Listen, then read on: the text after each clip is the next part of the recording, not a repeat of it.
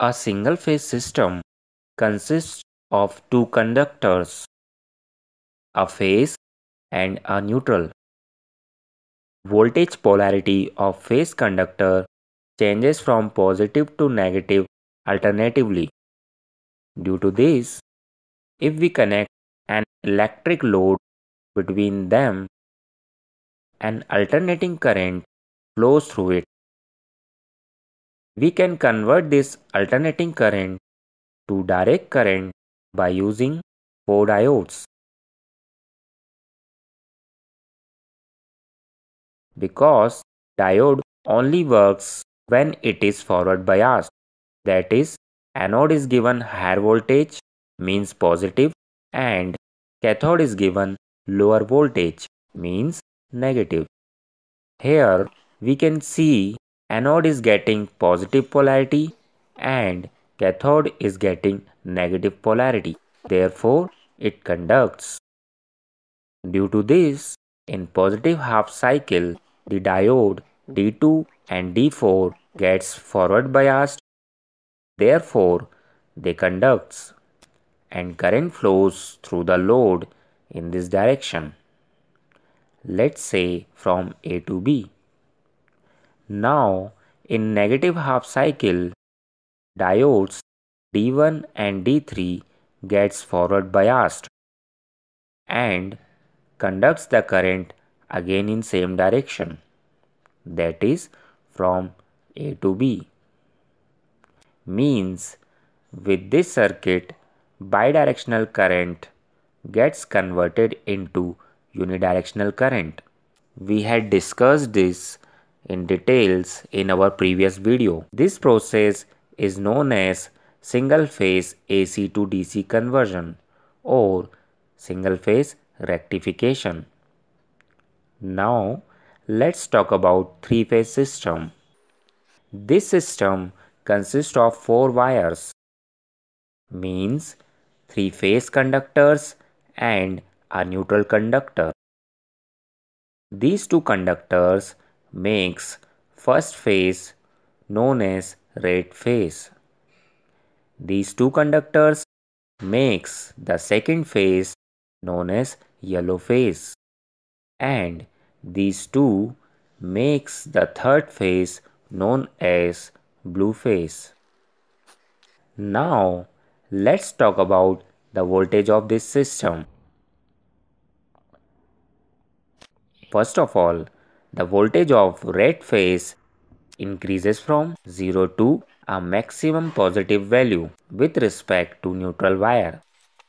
At this time, voltages of remaining two phases has some other values as shown here. After some time, voltage of yellow phase achieves the maximum positive value and similarly after some time the voltage of blue phase achieves its maximum positive value. In this way, the process continues and is known as three-phase balanced voltage. When a three-phase balanced load is connected in this circuit, three-phase currents flows through the load and current in each phase varies in magnitude similar to the voltage of respective phase. Neutral wire carries no current because the sum of voltages in a balanced system at the neutral point is zero.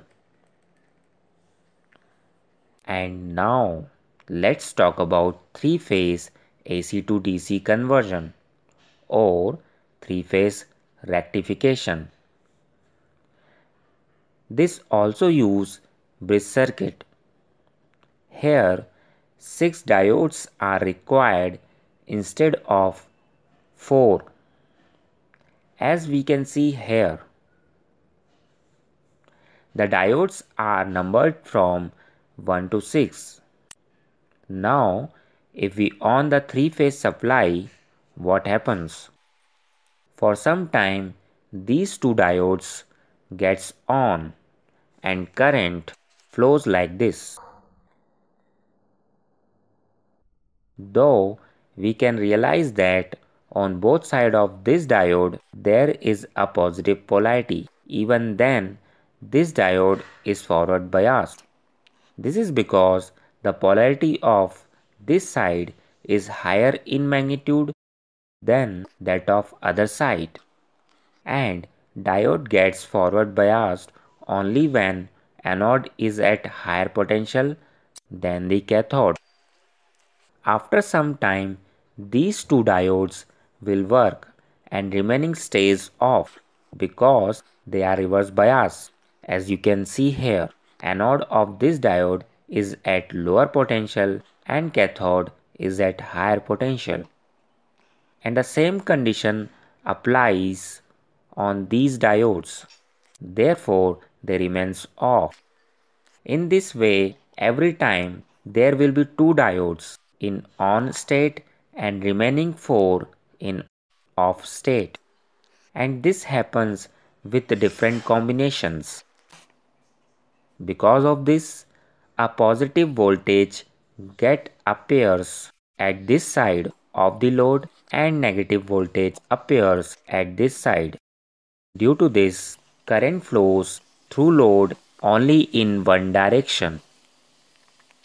Let's discuss this in more details. From 0 to 30 degree, D5 and D6 gets on and our load gets connected to phase Y and B which gives output voltage equals to line voltage that is VYB. From 30 degree to 90 degree, D1 and D6 gets on and our load connected to phase R and Y which makes output voltage equal to line to line voltage VRY. And similarly from 90 degree to 150 degree D1 and D2 gets on and a load gets connected to B and R phase and output voltage become VBR. In this way, the sequence continues itself. Every time two diodes gets on and a load gets connected with two line terminals.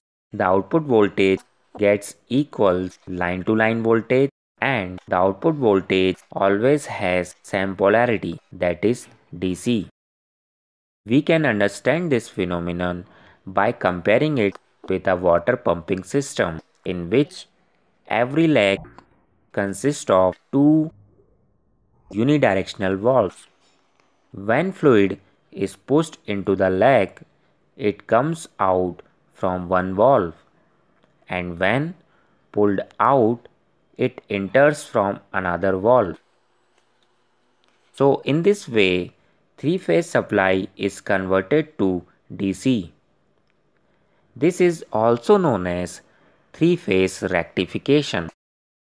Note that in this example, all the conditions are considered to be ideal.